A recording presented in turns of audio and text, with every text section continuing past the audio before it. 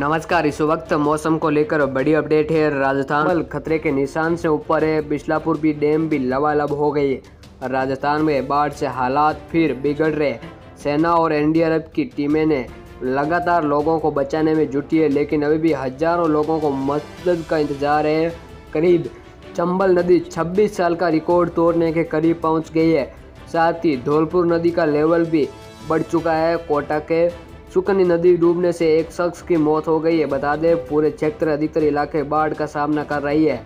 वहीं उदयपुर में भी भारी बारिश के कारण यहाँ रात भर बच्चे स्कूल में फंसे रहे, लेकिन बता दें, बंगाल की खाड़ी में बना एक नया वेदर सिस्टम आपत बनकर बरसा दो दिनों से लगातार हो रही भारी बारिश का असर प्रदेश के चौदह जिलों में सबसे अधिक देखा।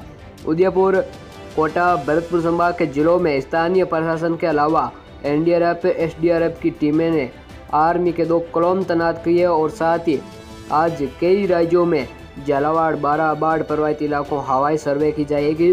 बीते 24 घंटे में सबसे ज़्यादा बारिश झालावाड़ में रिकॉर्ड की गई।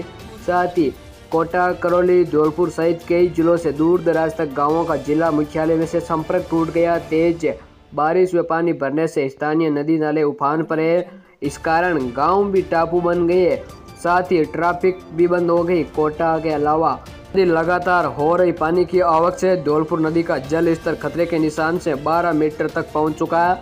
नदी के शाम तक खतरे के निशान से 15 मीटर ऊपर पहुँचने की संभावना जताई जा रही है।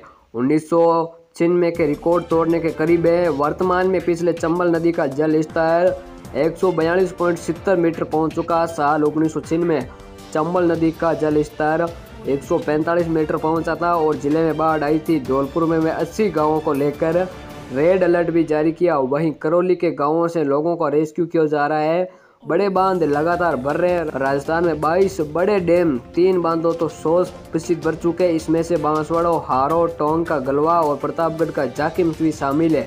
भारी बारिश के कारण राणा प्रताप सागर बाँध एक दिन चार लाख छियासठ हज़ार क्यूस के पानी छोड़ा गया। साथ ही कोटा बिराज के सत्रह गेट खोले जा चुके अब तक पानी की निकासी की जा रही है। मौसम को लेकर इस वक्त बड़ी अपडेट आ चुकी है। साथ ही आपको बता दें अब आगे कैसा रह सकता है मौसम? तो वर्तमान मौसम की माने मौसम के मुताबिक जैसलमेर बाड़मेर जालौर प्रतापगढ़ में भारी बारिश हो सकती है। साथ ही गुरुवार को प्रतापगढ़ में बादल छाए रहेंगे। छब्बीस व सत्ताईस अगस्त को राज्य में बारिश की संभावना बेहद कम लगाई जा रही है।